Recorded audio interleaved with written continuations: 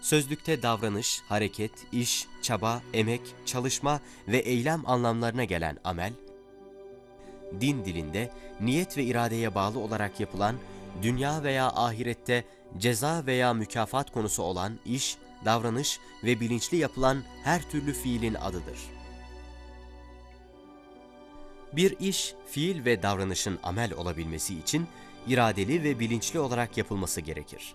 İrade, kasıt ve bilinç bulunmayan fiil amel olmaz.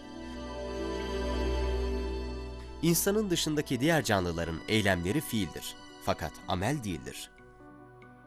Amel kavramı, hayırlı, iyi ve sevap olan eylemler ve davranışlar için de kullanılır. Allah ve peygamberin emir ve yasaklarına uymak amel, uymamak amelsizliktir. Kur'an-ı Kerim'de insanların ameli iyi yapıp yapmama bakımından imtihana tabi tutuldukları bildirilmiştir.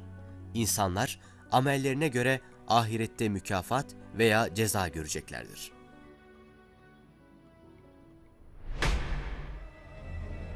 Merhamet Peygamberi Efendimiz sallallahu aleyhi ve sellem şöyle buyurmuştur.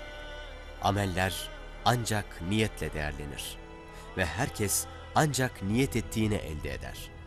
Kimin hicreti Allah ve Resulü içinse onun hicreti Allah ve Resulünedir. Kimin hicreti elde edeceği bir dünyalık veya evleneceği bir kadın içinse onun hicreti de hicret ettiği şeyedir.''